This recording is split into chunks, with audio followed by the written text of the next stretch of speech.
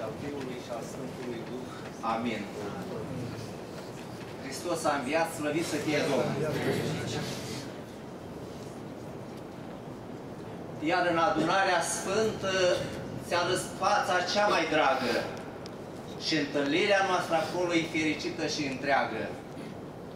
Binecuvântăm pe Dumnezeu și în această frumoasă zi, când fiecare dintre noi, cu dorința aceasta sinceră, cu dorința aceasta încă o dată în viața noastră să mai putem crește,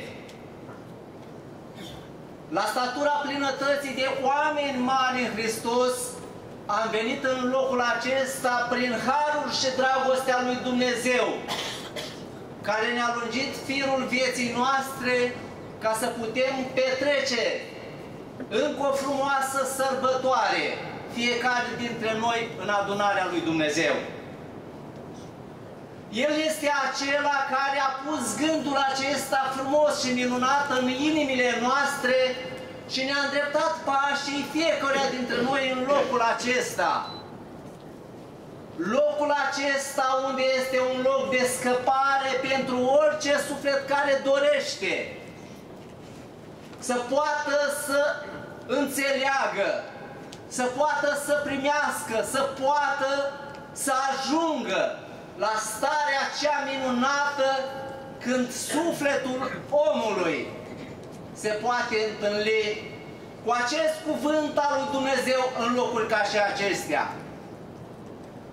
Aceasta este adunarea, lucrarea oastei Domnului care ne-a chemat și ne cheamă de peste 90 de ani pe fiecare dintre noi în orice stare am fi și oriunde am fi. Glasul Domnului Isus este acela care ne cheamă pe fiecare dintre noi să putem să trăim momentele acestea împreună în adunarea lui Dumnezeu. Desigur, fiecare dintre noi avem momente de fericire și bucurie și în locurile în care suntem noi, acolo unde ne-a așezat Dumnezeu. Dar ce frumos poetul, fratele nostru Traian, încă o dată atenționează pe orice suflet care vrea să asculte cuvântul lui Dumnezeu. Mijlocul și felul acesta de comuniune cu Dumnezeu împreună. Acesta este un lucru mare și frumos și plăcut lui Dumnezeu. Dar atât urât de cel rău, de diavol. Și spune el versurile acestea frumoase pe care am vrea și noi să le înțelegem valoarea. Nu cuvintele, ci simțământul și ceea ce vrea Duhul lui Dumnezeu să exprime când fiecare dintre noi le cântăm și le auzim în adunarea lui Dumnezeu. Iar în adunarea sfântă ți arăți fața cea mai dragă și întâlnirea noastră acolo e fericită și întreagă. Am vrea fiecare din noi în locul acesta în acestea câteva clipe pe care le petrecem împreună, să putem să înțelegem dragostea lui Dumnezeu care vine spre fiecare suflet și dorește pe fiecare suflet în parte să poată să ridice la starea cea minunată și fericită în locuri ca și acestea de scăpare. Ca aici, în comuna noastră, acesta este locul de scăpare. Când sufletele sunt adunate în atâtea locuri pe care le știm sau nu le știm, unde vor să-și găsească fericirea. Ce frumos! Duhul lui Dumnezeu prin Părintele Iosif a trimis această lucrare minunată, oastea Domnului, să ne aducă pe noi cei care dorim sincer să aflăm mântuirea sufletelor în locuri ca și acestea, de scăpare, în care în urma auzirii cuvântului lui Dumnezeu, fiecare dintre noi să putem să ne punem întrebarea aceasta frumoasă, pe care trebuie să-și o pună orice om în viața lui. Ce trebuie să fac? Am ascultat și ascultăm noi cuvintele acestea lui Dumnezeu, Și am vrea de fiecare dată în urma cuvântului lui Dumnezeu inima noastră să se moaie, conștiința noastră să poată să răspundă chemării lui Dumnezeu și sufletele noastre să poată să-și afle mângâierea. Locurile acestea, stările acestea, momentele acestea pe care le trăim noi sunt unice în viața noastră. Și de aceea am vrea în urma cuvântului lui Dumnezeu și așa de frumos cei mai mulți dintre tinerii noștri care pot umbla pe aparatura asta, cei care au vizionat filmul acela frumos despre fratele Traian, dădea acele imagini frumoase cu fratele Traian, cu tinerii din oastea Domnului. Și mă uitam și iar reluam și mă uitam ce frumos era atunci. Ce mesaj frumos transmitea când toți erau împotriva credinței. Ateismul era la culme prin vremurile prin care am trecut.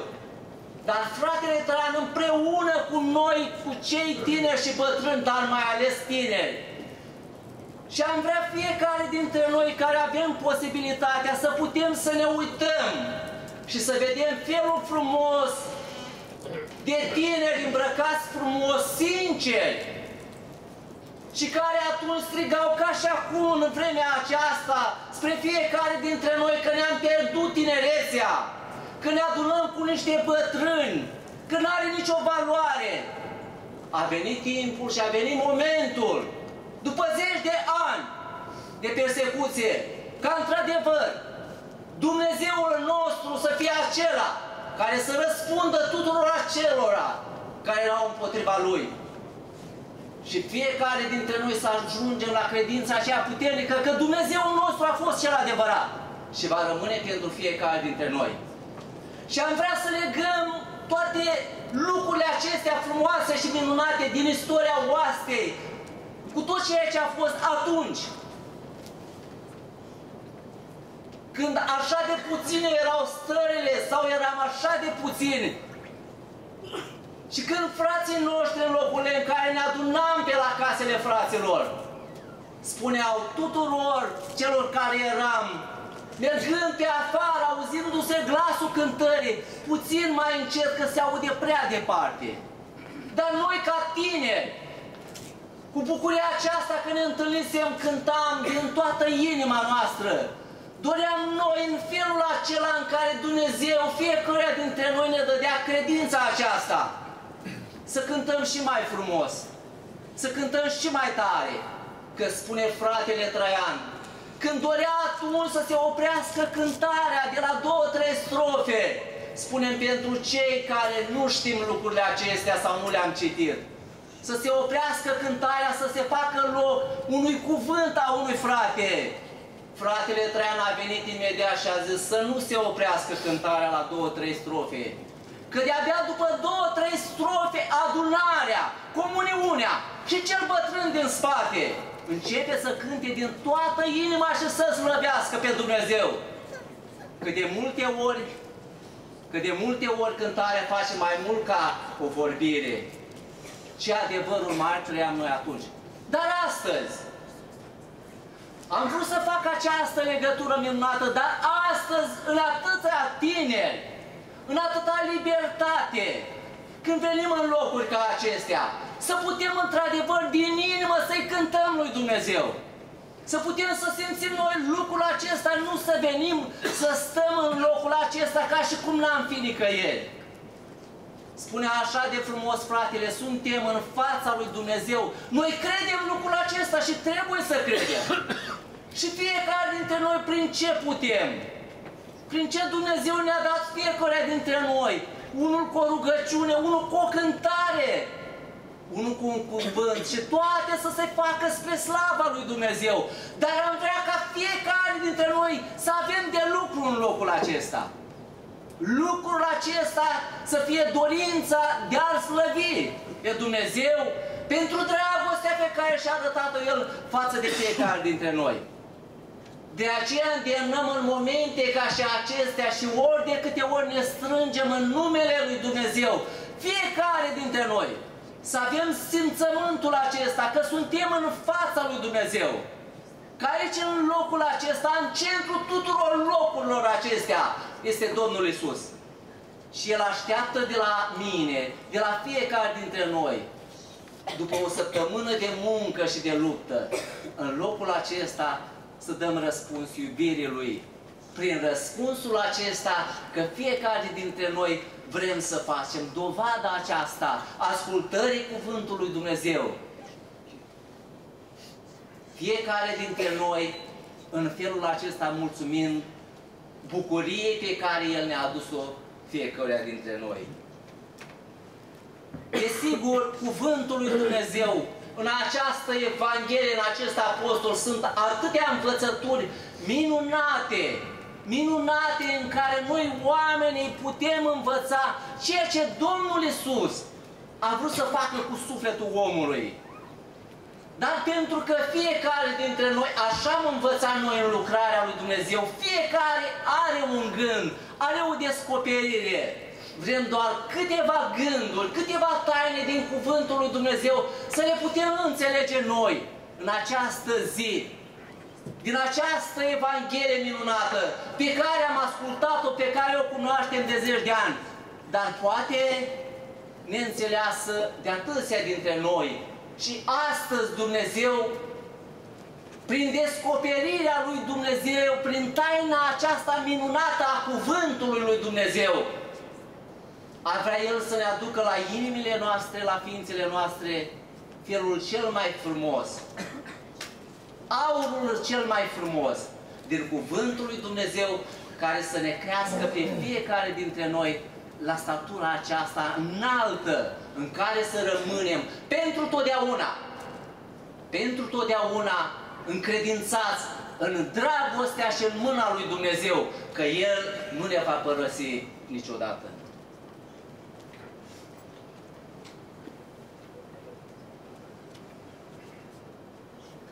Această Evanghelie este așa de lungă, dar vrem câteva cuvinte din această Evanghelie și începem cu versetul 22, Sfântul Ioan Evanghelistul, capitolul 9.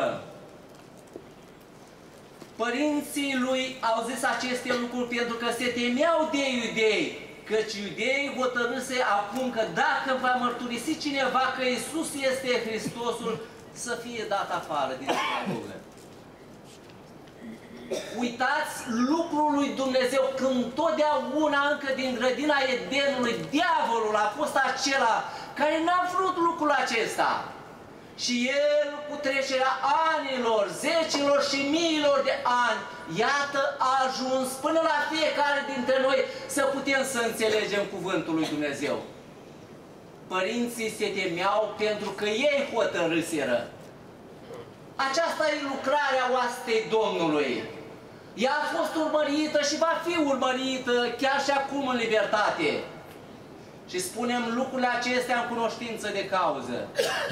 Nu că e prigoană, ci pentru că fiecare dintre noi suntem undeva acolo monitorizați și când va veni vremurile, va trebui să plătim. Dar spune fratele Traian, chiar dacă nu vom plăti sau nu vom ajunge să fim pregătiți pentru vremea aceea. Ori de câte ori lucrarea oastei Domnului prin Părintele Iosif, care a vrut fiecare dintre noi, sufletul țării bisericii noastre să poată să ne aducă, să înțelegem viața bisericii, a slujbelor pe care le ascultăm. A vrut să răscolească sufletul omului, omul să nu se ducă și să se întoarcă și să rămână fără nimic.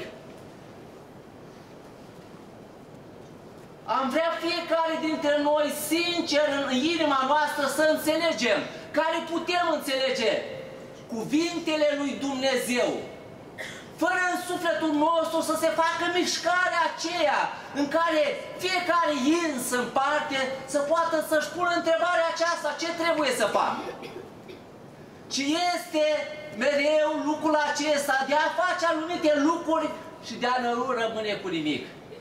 Părintele Iosif Și în această lucrare minunată a oastei Domnului a venit de fapt să răscolească sufletul meu, ființele noastre, inimile noastre, când fiecare dintre noi puse în oglinda cuvântului lui Dumnezeu, să putem să ne cercetăm ființa noastră. Și dacă nu suntem pe o cale bună, să ne întoarcem înapoi la Dumnezeu. Aceasta a vrut oastea Domnului. Dar poți să vorbești și se putea vorbi orice spunea atunci. Oricum și oriunde despre Domnul Isus și răstignit. Să nu vorbești. Acesta era pericolul. Acesta a fost și va fi pericolul. Despre orice lume să vorbești. Dar despre aflarea Domnului Isus, despre nașterea din nou, despre întoarcerea la Dumnezeu, nici cum. Să facă una, să facă alta, să dea, să nu știu ce să facă. Dar ca sufletul să se coboare, să se smerească, să-și plângă păcatul, cum se poate lucrul acesta? De aceea, suntem și astăzi și vom fi pândiți de acest pericol. Să nu putem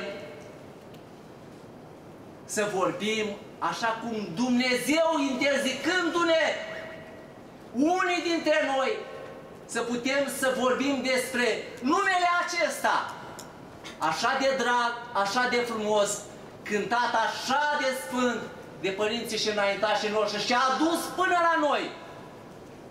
Până la noi când spun până la noi, fiecare dintre noi, până în matca, comuna noastră, prin frații și părinții noștri, căci datorită lor că au știut să primească mesajul lui Dumnezeu, iată, suntem astăzi în locul acesta. Meritul nu este al nostru, ci fiecare dintre noi am intrat în osteneala celor dinaintea noastră. Și ce frumos când fiecare dintre noi știm să dăm întâietatea aceasta. Știm fiecare dintre noi să ne smerim la locul la care Dumnezeu ne-a pus. Și să putem să înălțăm numele Lui Dumnezeu. Și apoi cei prin care fiecare dintre noi suntem prezenți în această frumoasă sărbătoare, în această adunare. Deci pericolul acesta va fi mereu, a fost, este și va fi. Orice să vorbim, despre numele acesta, de fapt care este centrul vieții omului. De fapt, este condiția primordială a omului. Dacă vrea sufletul, omul, să-și mântuie sufletul, acesta este condiția. Cuvântul lui Dumnezeu. De atâtea ori ne-o spune, ne-o spune mie, ne-o spune fiecare dintre noi. Am vrea și noi să putem să înțelegem toate lucrurile acestea iar celelalte, nici acelea să nu fie lăsate și refăcute, ci acelea împodobesc felul acesta frumos, când fiecare suflet a ajuns la ținta aceasta, să poată să-L înțeleagă pe Domnul Isus, să poată să-i fie prietenul Lui, să poată când a fi atunci în vremuri grele sau în bucurie, să se ridice din locul în care este și să spună meritul acesta nu este al meu, ci al Domnului meu, a Mântuitorului meu. Acolo trebuie fiecare suflet să ajungem. Și când fiecare dintre noi vom ajunge așa, vom afla pacea, bucuria și vom veni și vom vedea că în adunarea sfântă Domnul Isus arată fața cea mai dragă și frumoasă.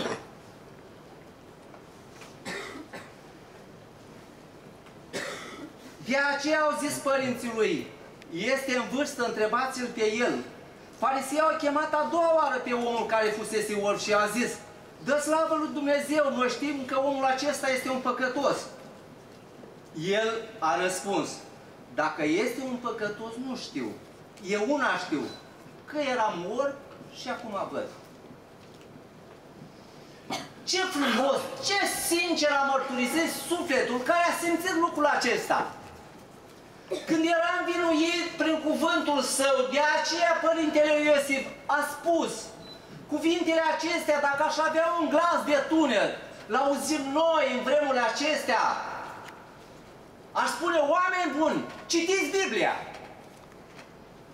Dacă cercetăm cuvântul lui Dumnezeu, este o mină în care este atâta aur, în care sufletul nostru se poate îmbogăți, îndeletnici, prinde credință în viața lui. Iată l-a chemat a doua oară și a spus că omul acesta este un păcătos. Ce frumos a știut să răspundă acest suflet care a fost vindecat. Sunt lucruri simple pe care fiecare dintre noi putem să le spunem. Sau dacă n-am ajuns la credința aceea puternică, să ne ajute Domnul să putem să avem și noi credința aceasta puternică. Eu una știu că am fost orb și acum văd. Ce bucurie aceasta pământească!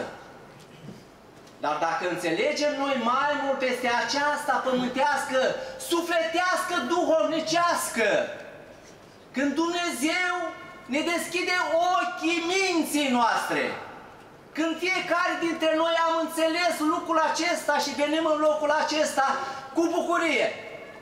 Am fost întrebați de mulți, prin vremurile prin care am trecut, despre oastea Domnului, despre această lucrare despre care spuneau ei, voi nu vă mulțumiți numai cu slujbele la biserică, mai vreți și altceva. Toate sunt ale noastre. Dar un lucru nu-l pot uita, așa cum a spus acest orb. Eu una știu, că eram în lumea aceasta și trăiam în păcatele lumii acestea departe de Dumnezeu. Dar a venit o vreme, a venit o zi, prin oastea Domnului. Și această lucrare minunată în viața fiecăruia dintre noi ne-a făcut să putem mărturisi adevărurile acestea nu acum în libertate, atunci în fața securității. Când spuneau ei, tu un copil ajungi pe noi care avem grade învățați să ne convingi de lucrul acesta? Da. Și au fost și au dovedit. Și rămân și vrem să rămânem prin oastea Domnului. Fiecare dintre noi ne-a înviat la o viață nouă și ne-a adus și ne-a pus să ședem în locuri cerești ca și aici, în lucrarea aceasta minunată. Să putem fiecare dintre noi încredințați de aceste adevăruri Vremea va trece, timpul va trece, dar cuvântul lui Dumnezeu va rămâne veșnic. Și tot ceea ce ascultăm în locuri ca și acestea, vom trăi unii dintre noi și vom vedea că acesta este adevărul. Pentru că în ea și centrul ei este Domnul Isus cel răstignit. Domnul să ne ajute să înțelegem și unii cu alții, cu tineri, cu bătrâni, cu toți cei care doresc să putem fiecare dintre noi, unii pe alții, să ne îndemnăm în felul acesta frumos și să ajungem fiecare dintre noi la credința aceasta puternică și plecând din locuri ca și acestea, să putem în locurile în care ne-a așezat Dumnezeu să facem dovada că aici, astăzi, am fost împreună cu frații în mijlocul nostru, având ca centru pe Domnul Isus, Duhul Sfânt. Slăvit să fie Domnul!